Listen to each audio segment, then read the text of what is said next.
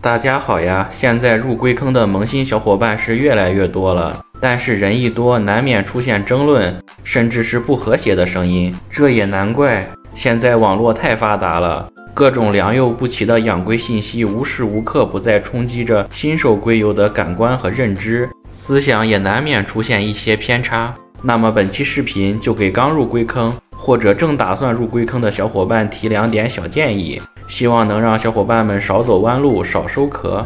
第一点建议是，刚开始养龟不要贪多，认真养一只就好。我知道有些朋友入龟坑就是为了玩品种、玩收集，养一两只龟没什么感觉。尽管如此，我还是建议先认真养一只龟，积累足够的经验，再慢慢增加龟的数量。不要一开始就买很多龟，搞得自己手忙脚乱，甚至酿成群体收壳的惨剧。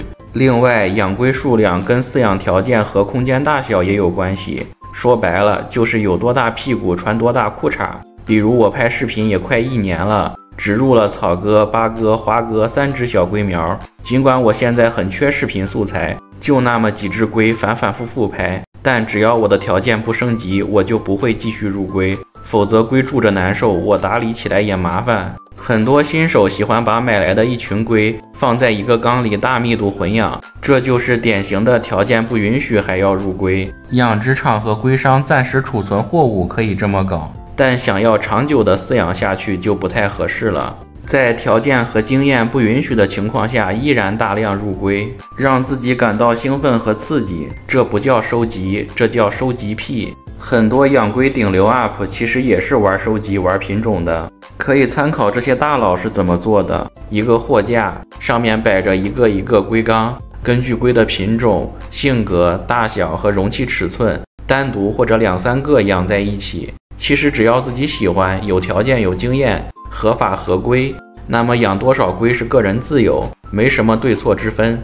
另外，先养一只龟还有一个好处：当发现自己只是三分钟热度之后，退坑也方便。如果一下子入的龟太多，自己突然不想养了，很容易把自己搞得进退两难。然后是第二点建议，不要太迷信“大佬都是踩着龟壳过来的”这句话。首先要肯定这句话本身是有一定道理的，很多养龟人都有通过一只龟的离开而吸取某种教训的经历。但现在很多人对这句话的理解出现了偏差，这句话的本意是着重吸取教训。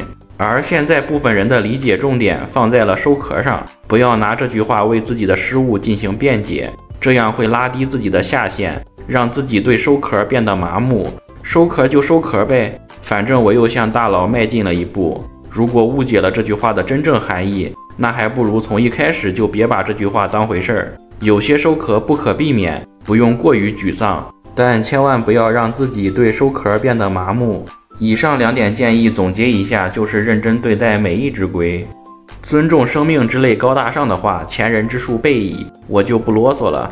咱就从个人利益的角度来讲，认真对待这些小动物，不也能减少自己的损失吗？再有钱也不是大风刮来的呀。希望我的这些浅薄微言能对小伙伴们有所帮助。视频的最后，纠正一处我去年甜甜圈龟专题中的错误。当时我说佛州甜甜圈龟是半岛尾龟，不是河尾龟的佛罗里达亚种。但是那时候的信息已经滞后了，现在河尾龟佛罗里达亚种已经从河尾龟中独立了出来，现在是尾龟属中的独立物种，名字叫佛州尾龟，没有河尾龟的那个小前缀了。如今佛州尾龟才是根正苗红、正儿八经的佛州甜甜圈龟。当然，国内龟宠市场上的佛田。很多时候指的是半岛尾龟，这个是没问题的，大家了解就好。我们日常养龟没必要纠结这个，也是感谢阿四哥的指正。好了，本期视频到这里就结束了。如果喜欢我的视频，请别忘了点个赞支持一下。咱们下期视频见吧，再见。